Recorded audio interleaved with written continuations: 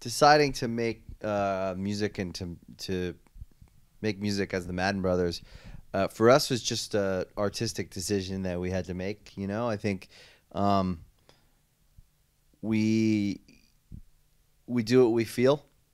You know, as songwriters, as artists, and as musicians, I think we uh, whereas people in other jobs probably have to calculate a lot more than we do. I think we just get to kind of do what we feel when we feel it.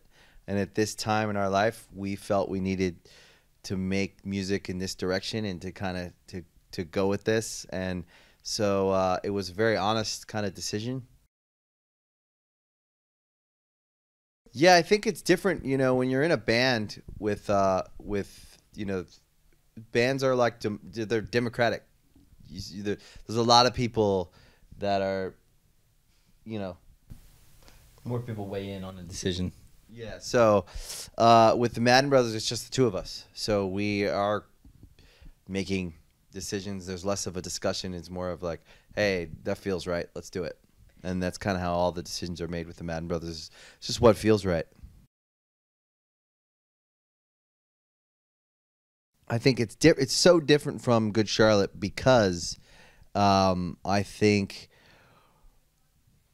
we're different.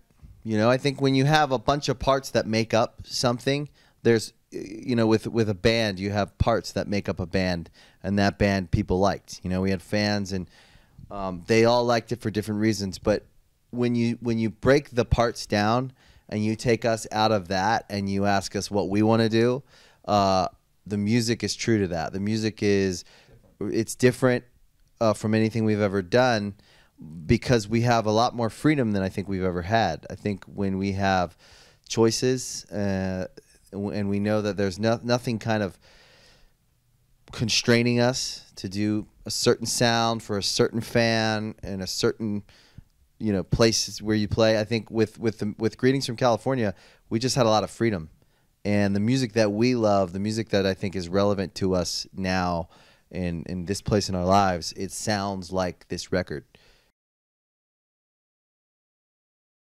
Yeah, so the record has two sides. It's side one we made with Eric Valentine, uh, who we've worked with before, and it's kind of a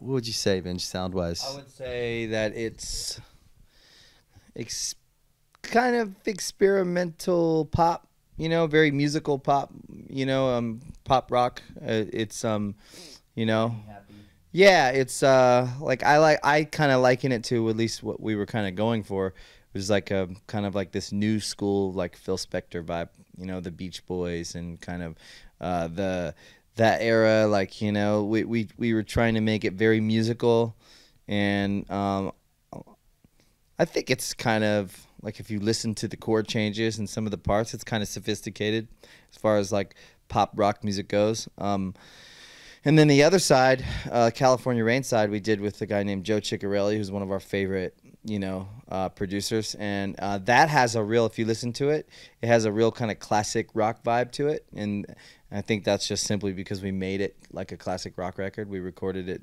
you know, the a big share of all the tracks were just recorded live in a room, you know, with with all the musicians playing together.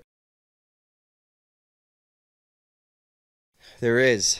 It's uh we had uh the pleasure of having Ryan Adams in the studio and he lent his vocals for some background vocals on California Rain.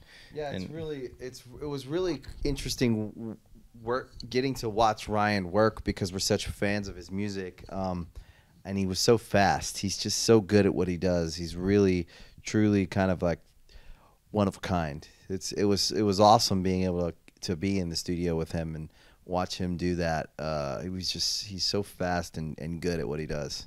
Yeah, it was it was definitely a a career highlight as well. Being such big fans and and uh, being able to to do anything with him. Uh, It was great. yeah, it was great. You know, it's funny when we were kids dreaming about getting out to California. Uh, I think for us, we just imagined this place where it would be easier. I think uh, where we where we grew up, it was very cold in the winter, very hot in the summer. Um, we we grew up with you know we didn't have a lot of money. We didn't have a lot of anything, and um, I think when as a kid, when you grow up in that situation, you need something to kind of you need a fairy tale kind of thing to believe in so that you can understand, you know, what you're going through. So I think um, getting to California for us, it seemed like if we just get to California, it'll never be cold, and and it will. eh, People out there, In the summer. it's an endless summer, and your dreams come true. And then we got out to California, and it is kind of like that. I mean, for me, I mean that's what this record is all about. It's like an endless summer, and if you really want to believe in something, you can there. Uh, by if if if if there's any place where people believe in crazy shit, it's California. And I think that really California, everyone's got their own California. You know, everyone's got the thing that they think of that kind of takes them away from the situation they're in mm. when they need a little break from it. You know what I mean? So, you know, for us it was California, and now, you know, the dream came true, and now we're living it. You know, we're living the dream, and it is it is everything that we thought it would be, probably more, way more. You know, so Of course, Um, the downside of everything. Every place has its. Every place. I mean, when you think of uh, Los Angeles or Hollywood, I mean, of course, there's pitfalls and there's a downside to any place. Uh, we tend to, m- me and Benji are kind of romantic people who like to see only the good things. Uh, but of course, there's a doubt. There's a there's a darker side to, to every place. Hit music only. Energy. Hit music only.